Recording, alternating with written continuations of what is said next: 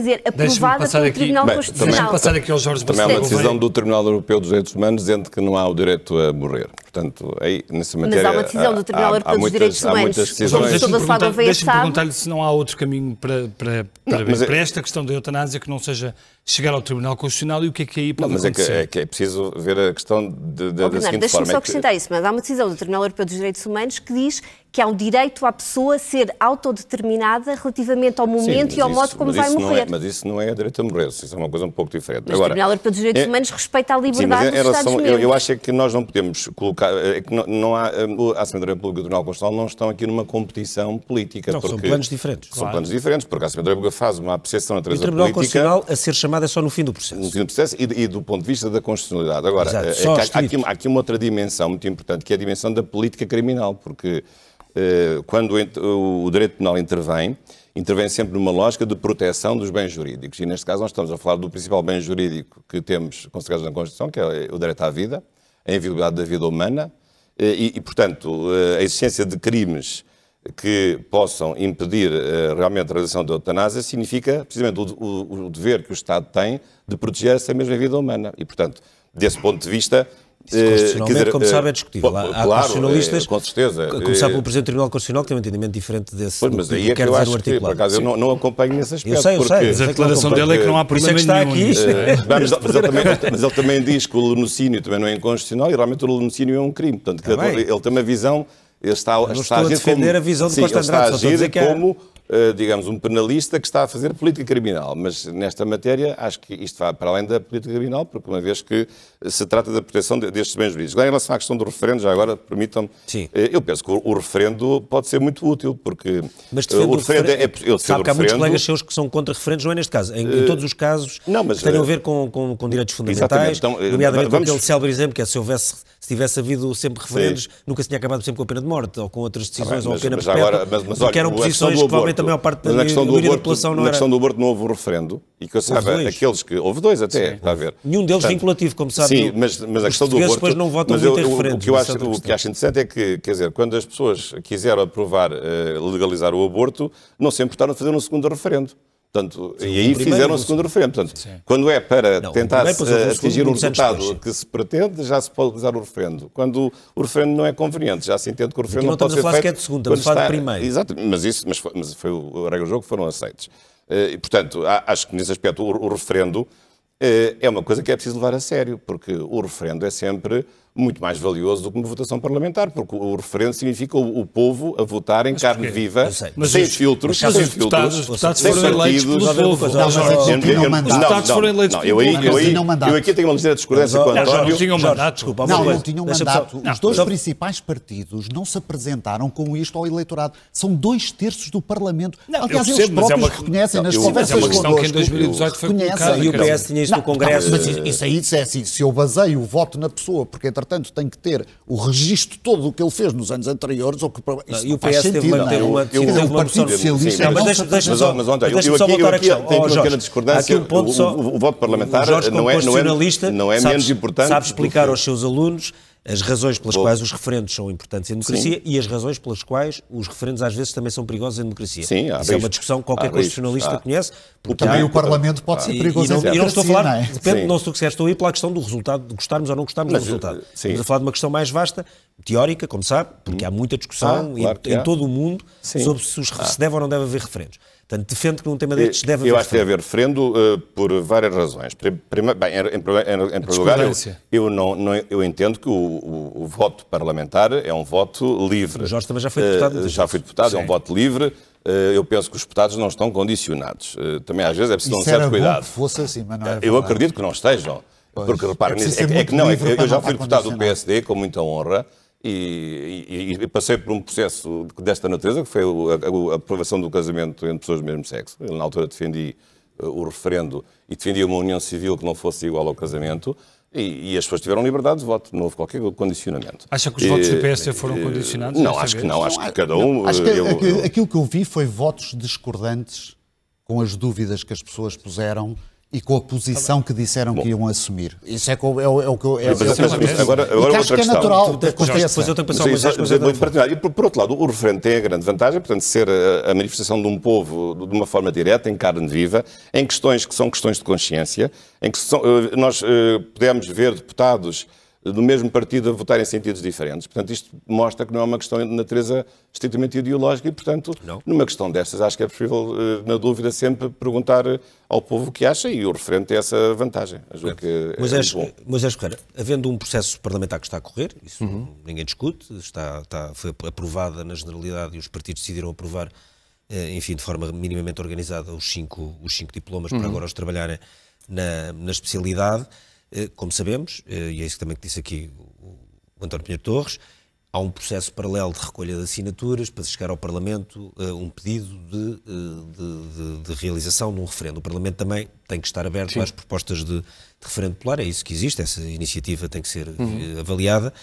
Uh, uh, minha pergunta é, porquê é que, havendo um pedido para um referendo, e se tiver as, as tais assinaturas em grande quantidade, como parece que tenha, porque é que não pode ser mais ponderado pelos deputados esperar pelo resultado do referendo e depois retomar o processo legislativo? Uhum. Ou não? Bom, para o Bloco de Esquerda, este é um daqueles assuntos em que é um dos assuntos que não são referendados. Que acha que não é Aliás, há pouco Sim. estávamos a debater isso aqui mesmo. Um, são direitos individuais e os direitos individuais não devem ser referendáveis. Okay. Em, eh, em momento algum. Falava-se a questão do aborto, mas a questão do aborto teve um primeiro referendo, erro, porque não deveria ser referendável e, portanto, do ponto de vista de legitimação, deveria ser com o segundo referendo que a decisão do primeiro referendo deveria ser revertida. E foi esta a questão. Na questão da morte assistida não deve haver referendo. Ponto. E não deve haver referendo por várias razões. Primeiro, por esta questão de princípio, é um direito individual, não deve ser referendável, eh, mas por outras mais. Este é um debate que está devidamente amadurecido na sociedade é um debate que tem muitos anos. É um debate que teve maior intensidade na última legislatura. Uhum. Como se sabe, Sim, houve um processo legislativo, etc. O próprio Conselho Nacional de Ética para as Ciências da Vida, apadrinhado pelo Sr. Presidente da República, fez uh, debates por todo o país durante um ano debates que o, próprio que o próprio Presidente da República disse que foram muito participados. E, portanto, houve efetivamente um debate amplo. Como se viu pelas votações uh, ontem, uh, nesta, na passada quinta-feira, na Assembleia da República, há também dentro da Assembleia da República uma expressão clara. Uh, três dos cinco projetos, todos eles foram aprovados, três dos cinco projetos foram aprovados com mais maioria absoluta dos deputados. Mais, mais de 40 votos. Sim, mais de 40 votos. O do PS, o do Bloco de Esquerda e o do PAN tiveram mais de 115 deputados, portanto tiveram muito, muito para lá da maioria absoluta e com uma diferença de 40 votos. Portanto, mesmo dentro da Assembleia da República não parece haver grandes uh, dúvidas sobre isto. Agora, nós podemos é dizer assim, bom, quando nós não concordamos com as decisões da Assembleia da República, desconsideramos a legitimidade da Assembleia da República e achamos que o referendo é melhor. Não parece que isso seja assim. Todos nós temos, obviamente, a nossa opinião sobre o assunto, todos nós temos o direito de discordar ou de concordar com aquilo que são as decisões da Assembleia da República. Eu acho que nós não devemos é estar sempre a mudar o chip eh, conforme eh, a decisão nos é favorável ou não é favorável. Porque, efetivamente, em 2018 não se falava do referendo. Aliás, havia quem dissesse que a vida não é referendável. Sim. E agora, porque percebem que a Assembleia da República tem uma posição diferente de 2018, vem com toda a força com o referendo. Não é porque achem que a legitimidade do referendo popular seja maior. É porque acham que pode haver uma manobra para empancar o processo. E isso é que não parece que seja legítimo também. Mas o referendo, mesmo muito, atrasaria, atrasaria o processo. Mas, mas, mas só, só, se permitam só que eu... Empanca, não, mas há aqui uma questão que eu não estou a dizer. Não empancará, mas pode é que, atrasar, pode portanto, haver aqui... Eu não estou a dizer a questão de vários perspectivas atrasar o processo. Tão eu gostava só de observar uma coisa. A Constituição e a lei não dizem só pode pedir um referendo quem não tenha nenhuma posição pretensão de resultado. Não diz isso. Diz que pode pedir não referendo. Porquê? Porque o referendo é um instrumento de participação no processo legislativo. E, portanto, é um direito que o povo tem de participar, não é? E, sobretudo, aqui o caso é crescido, porque reparem numa coisa... O povo tem, mas por decisão do, do, do, do Parlamento. Parlamento. Eu acho que reconheceremos... E do, e do Presidente da República. é o Parlamento que todos, sim, o Presidente da República decide se há referendo ou não. Todos e o Tribunal Constitucional vê a pergunta. Claro. É? Todos reconheceremos aqui que a eutanásia é uma questão de vida ou de morte no sentido literal do termo, sim. não é? Bom... E o que é que se passa? Nas últimas eleições houve 55% de abstenção. Portanto, apenas 45% das pessoas votaram. Dentro destas 45 pessoas mas nos que votaram... a abstenção ainda costuma ser um bocadinho maior. Está bem, mas já lá vamos. Mas estes 45% que ali estão representados, destes só 60%, que foi o resultado da votação favorável às leis, é que votou favoravelmente. Ou seja, só 27% dos portugueses... Essa matemática tá bem, é essa matemática não pode... Isso dá para o que é uma questão de vida ou morte. A democracia representativa existe exatamente para evitar essa matemática. Então essa matemática aplica-se à democracia direta. Mas, é que eu... mas, há questões e questões, não é? Não há nenhum precedente, não há nenhum país. Mas há só aqui uma petição de princípio, é que eu não estou a perceber este argumento de que os direitos individuais não são referendáveis. É que o problema é este, é que qual é a... Então, quer dizer, os direitos individuais não são referendáveis, mas são votáveis na Assembleia da República. Então, mas os deputados não substituem o povo uh, num esquema de democracia representativa? Não é melhor que o povo vote em vez dos deputados? Se, se eu lhe perguntar, ou se a alguém, qual é o melhor modelo mais puro de democracia? É o Parlamento com 230 deputados ou são 6 milhões de portugueses a votar. Eu acho que são 6 milhões de portugueses. A Assembleia da República não serve para nada. Não, mas é, o problema não, é esse. Não, o problema não é esse. O problema é um problema é- operacional. É, é, que os portugueses não podem estar a votar todos os dias. Historicamente, esse é problema Como o povo, aliás, em teoria, a democracia direta é sempre melhor do que a democracia representativa. O problema é que não é operacionalizável, porque os portugueses não podem votar todos os dias todas as leis. poucos países do mundo...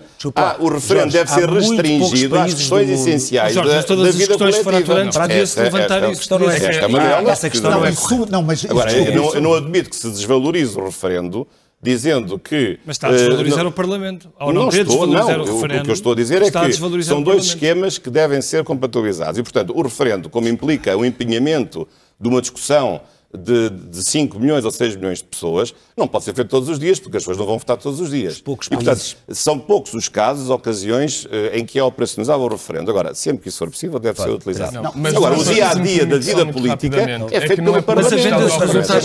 Deixa-me só acrescentar uma Deixa o Moisés responder, que foi interrompido. não é por uma questão de operacionalidade, é mesmo por uma questão de direito, do direito que está a ser debatido. Mas então os Porque... deputados têm mais direitos sobre os direitos Sim. individuais do que tem o povo? Não, se me permitir, eu não estou a perceber esse argumento. Se me permitir, eu explico. Isso é democracia, é que, isso é o que está na base do, do, do Parlamento Britânico. Para isso mudamos o regime. Está na base da Constituição Portuguesa. Sim, está bem. Então, está na base da Constituição Portuguesa. Então, se é o povo que em certos países aprovou a Constituição o povo tem menos direitos sobre os direitos individuais, Jorge, quando Jorge, foi o próprio povo que aprovou a Constituição. Não ponha a explicar uma coisa que você sabe melhor do que eu, que é professor de Direito Constitucional, mas portanto, pode ir à história do parlamentarismo britânico, não, que, que tem 300 não, ou 400 mas o, mas o que o Ricardo está a dizer é outra coisa, é o perigo do referendo ser um plebiscito. Não, é... Isso é outra coisa. Há, há, países que têm, é- não é há, há países têm base referendária tipo Suíça, não há praticamente mas não é isto está em cima da mesa. E a Suíça é uma lógica e a Suíça é uma lógica comunitária. Sim, mas nós não temos uma tradição referendária, é verdade. Não tem Inglaterra, não tem França, não tem Espanha, não tem Bélgica, não tem Holanda, não tem Alemanha, não tem praticamente não, e não tivemos o referendo desde não. o princípio. A partir só de 82, depois de 89, ah, o nacional. A Suíça, mas, o único país que tem uma base referendária permanente. são os poucos casos em que eu acho que a falar é democracia. Não.